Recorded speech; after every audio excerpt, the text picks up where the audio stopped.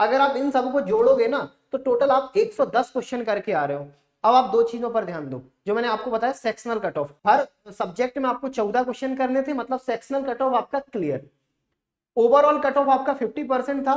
Overall cut of 200 number लाने थे, यहाँ पर हम कितना ला रहे हैं? दो ओवरऑल कट ऑफ़ आपका क्लियर मतलब दोनों सेक्शनल और ओवरऑल कट ऑफ़ भी आपका क्लियर और आप लोग सिलेक्शन की रेस में आ जाओगे। ये आपका सेफ़ स्कोर रहेगा। इससे आपको कम नहीं लाना है, ठीक है? इससे जितना ज़्यादा आप बढ़ा सकते हो, बढ़ाओ। चलो, सबसे पहले तो मैं आपको बताने वाला हूँ कि जो आपका एग्ज़ाम है यूपीएसआई यहाँ पर आपके पेपर का पूछने का तरीका क्या रहेगा। तो सबसे पहले तो आप ये देखें। तो यहाँ पर आपको सबसे पहले मैं बताने वाला हूँ कि भैया आपके टोटल मार्क्स सभी को पता होगा कि 400 नंबर का पेपर होगा, ठीक है? हर सेक्शन में आपके 40 क्वेश्चन होने वाले हैं, चार आपके सेक्शन है तो आपके 160 क्वेश्चन आएँगे। चार सेक्शन मतलब आपका भैया मैथ रीजनिंग और आपका हिंदी। और ये पार्ट पूरा आपका एक। कौन कौन सा मैथ मूल विधि का, आपका कॉन्स्टिट्यूशन का और आपका जीके का। आप जीके के अंदर सारी चीज़ें आ जाएँगी। आपकी करंट अफेयर्स भी आ जाएगा यूपी जीके भी आ जाएगा, ठीक है? अब यहाँ पर जो मैंने आपको स्टार्टिंग में बताया कि भैया यहाँ पर आपके दो फैक्टर काम करेंगे। सबसे पहला सेक्शनल कट ऑफ़ दूसरा आपका overall cut off sectional cut off मतलब हर सेक्शन में आपको 35 परसेंट लाना कंपलसरी है। 35 परसेंट मतलब अगर आपके एक सेक्शन में 40 क्वेश्चन रहेंगे तो 40 का 35 परसेंट निकालोगे मतलब हर सेक्शन में आपको 14 क्वेश्चन सही सही करके आना पड़ेगा। टोटल चार सेक्शन में आपको छप्पन क्वेश्चन तो ठीक करके आना ही पड़ेगा, ठीक है? इन सबसे काम नहीं चलेगा। आप अगर ओवरऑल देखोगे तो 400 नंबर में से 200 नंबर तो आपको कंपलसरी यहाँ पर लाना ही पड़ेगा। एक क्वेश्चन कितने का होगा? एक क्वेश्चन होगा आपका ढाई नंबर का। एक क्वेश्चन ढाई नंबर का तो आप 160 सौ साठ इंटू ढाई करोगे तो टोटल आपको नंबर मिल जाएँगे कितने? 400 बस दो फैक्टर आपको याद रखना, पहला सेक्शनल 35 परसेंट दूसरा ओवरऑल आपका 50 परसेंट ओवरऑल आपका 50 परसेंट अब ये सब तो चलो ठीक है। अब ये आप 35 पर थर्टी फाइव परसेंट का क्राइटेरिया कैसे पार करोगे? 50 परसेंट का क्राइटेरिया कैसे पार करोगे? तो इन चीज़ों पर हम लोग, सबसे पहले जो आपके एग्ज़ाम के चार स्तंभ हैं जो आपका मैथ रीजनिंग हिंदी और आपका जीके इन पर हम लोग डिटेल में डिस्कस करने वाले हैं। सबसे पहले भैया, मैं आपको बताने वाला हूँ मैथ्स का। अगर मैं मैथ्स की बात करूँ तो यहाँ पर आपको भी बताया कि 40 क्वेश्चन आएँगे, एक क्वेश्चन ढाई नंबर का होगा, चौदह क्वेश्चन आपको ठीक करने, सब ठीक है। लेकिन देखो, अगर आप लोग काफ़ी टाइम से, जैसे जब से फॉर्म आया, तब से आप लोग अपने तैयारी में कंटिन्यू है बीच में भले ही आपका लॉकडाउन लगा हो। अब आपको ज़रूरत है एक सही रणनीति की, सही आपकी स्ट्रेटेजी की। स्ट्रेटेजी क्या रखनी चाहिए भैया? आपने अभी तक प्रैक्टिस सेट अगर नहीं लगा रहे हो तो आप आप लोग उनको कंटिन्यू करो। सेक्शनल आप लोग मॉक टेस्ट लगाओ, ठीक है? डेली क्यूज लगाओ। और अगर अभी से आप लोग तैयारी करने वाले हो, अभी से आप लोग तैयारी शुरू करने वाले हो यूपीएसआई की तो अभी से भी मोटे मोटे तौर पर देखोगे तो आपके पास पचास दिन है। पचास दिन में अगर आप देखोगे तो इनमें से पच्चीस पच्चीस में आप ब्रेक करो, ठीक है? पच्चीस दिन में आपको सिलेबस कंप्लीट करना है पूरा यूपीएसआई का। मैथ्स का मतलब पच्चीस दिन मतलब 25 टॉपिक पूरे मैथ्स में अगर आप देखोगे तो 25 टॉपिक आपको मिल जाएँगे। तो एक दिन में एक टॉपिक करो और लास्ट के 25 दिनों में आप अपनी प्रैक्टिस करो। ठीक है? रेफरेंस के तौर पे आप कोई भी किताब को उठा सकते हो, जो भी आपके पास हो अवेलेबल हो अच्छे से, जिसमें आपके यूपीएसआई के मैथ्स के हर टॉपिक को क्लियर किया गया हो। अभी यहाँ पर केवल आप सिलेबस कंप्लीट करो, फिर डेली मॉक टेस्ट आपका क्विज इन सबसे आप अपने प्रैक्टिस कर सकते हो। अगला है आपका रीजनिंग अब रीजनिंग में कोई आपको अलग से स्ट्रेटेजी को फॉलो करने की ज़रूरत नहीं। जैसा मैंने आपको मैथ्स में बताया, वैसे ही सेम आपको रीजनिंग में करना है। रीजनिंग में एक चीज़ आपको एक्स्ट्रा करनी है, वो रहेगा आपका मिक्सअप क्वेश्चन की प्रैक्टिस आप कोई भी मार्केट से, कोई भी सेक्शनल जो आपके मॉक टेस्ट हो अवेलेबल हो ऑनलाइन ऑफलाइन जैसे आपको ठीक लगे, जिसमें आप कंफर्टेबल हो। आप 40 40 क्वेश्चन के प्रैक्टिस सेट अभी से सेक्शनल रीजनिंग के लगाना चालू कर दो। हाँ यहाँ की रीजनिंग में थोड़ा सा आपका अंतर रहेगा। अंतर क्या रहेगा कि यहाँ पर बहुत सारी चीज़ें आपको ऐसी मिलेंगी जो आपके बैंकिंग बैंक पीओ में पूछी जाती है। जैसे आपका मशीन इनपुट 2017 में क्वेश्चन बने थे वहाँ से, ठीक है? और आपका पजल ठीक है? सिटिंग अरेंजमेंट ये सारी चीज़ें आप लोग एक बार देख लेना प्रीवियस ईयर पेपर से तो आपको एक अंदाज़ा लग जाएगा कि रीजनिंग में कौन कौन सी चीज़ें अलग हैं जो आपको एक्स्ट्रा लेवल पर पढ़नी पड़ेंगी। इसके बाद जो आपका अगला रहेगा, हिंदी, ठीक है? अब हिंदी को अगर आप दो पार्टों में डिवाइड करो तो हिंदी के आप दो पार्ट बनाना। पहला आपका रहेगा व्याकरण जिसे आप ग्रामर बोलोगे, दूसरा रहेगा आपका साहित्य अगर आप प्रीवियस ईयर पेपर उठा के देखो तो भाई दोनों का 50 50 परसेंट का आपका रेशियो रहेगा.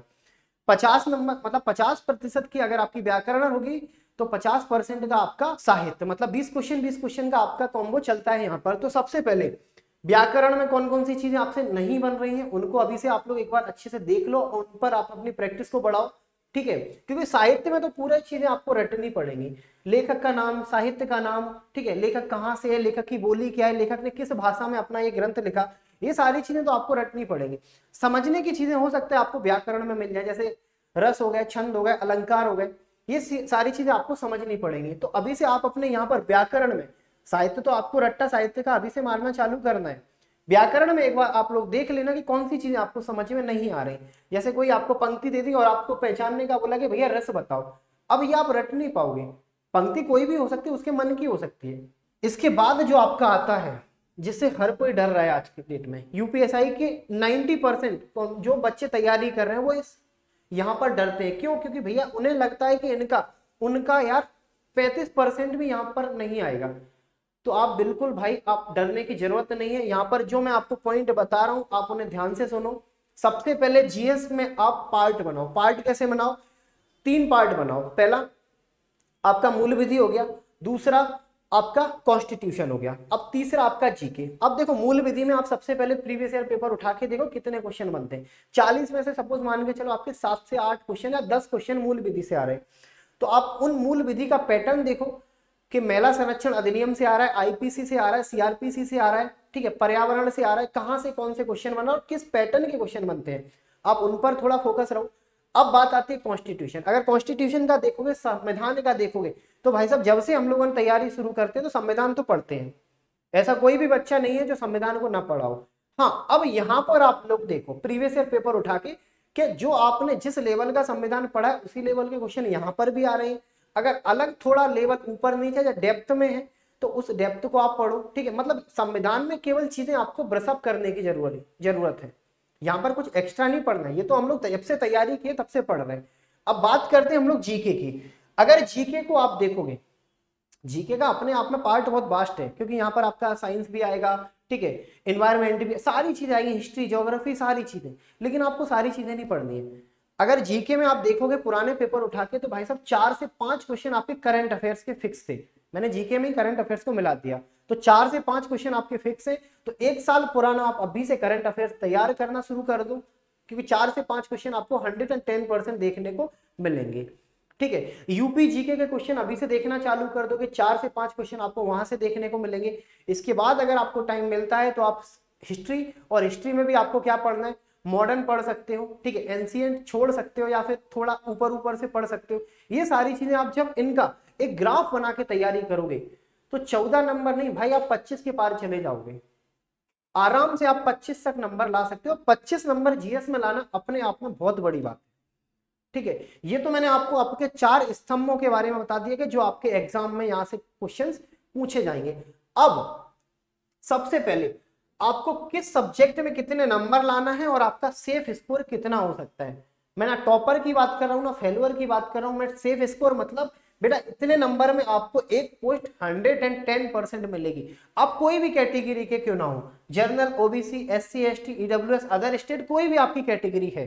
तो इतना सेफ़ स्कोर आपका रहेगा। इसमें आप चाहो तो नंबर ऐड कर सकते हो, लेकिन कम मत करना। ठीक है, इतना आपका सेफ़ स्कोर अब ये सेफ़ स्कोर तक आप कैसे पहुंचोगे समझो।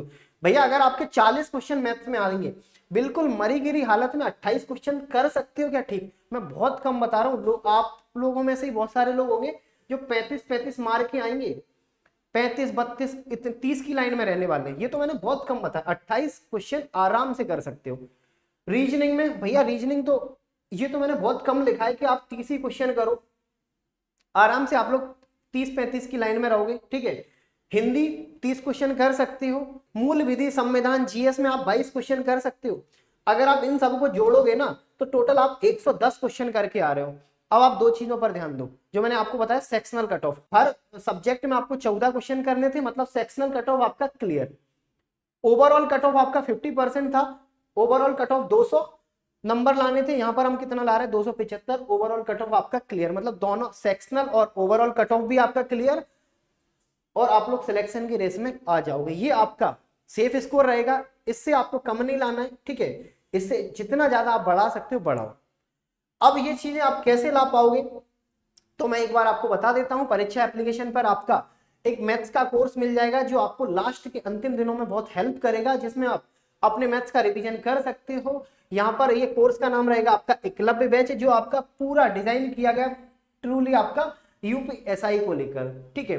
तो इसमें आप अपना, इससे आप अपना रिवीजन कर सकते हो। परचेस करना चाहो तो ये आपका रेफरल कोड है, इसे आप यूज़ करके 40 परसेंट का डिस्काउंट ले सकते हो। इसके अलावा, ये तो चलो उनके लिए जिनको मैथ्स की ज़रूरत है। अब जो मैं बताने वाला हूँ, ये हर किसी को अप्लाई करना है, क्या? मॉक टेस्ट ठीक है?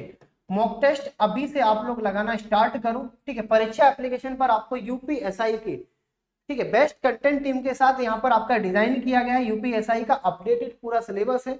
यहाँ पर आप टेस्ट पेपर परचेस कर सकते हो पर डे एक टेस्ट पेपर लगाओ, ठीक है? रेफरल कोड आपको सेम यूज़ करना है, जिससे आपको 40 परसेंट का डिस्काउंट मिलेगा। चलो, अब ये वीडियो तो आप लोगों ने देख लिया है। अब ऐसे ही और वीडियोस के लिए आपको क्या करना है? तीन चीज़ें। सबसे पहले वीडियो को करना है आपको लाइक और ज़्यादा से ज़्यादा शेयर और चैनल को करना है आपको सब्सक्राइब। मिलते हैं हम लोग अपने अगले वीडियो में।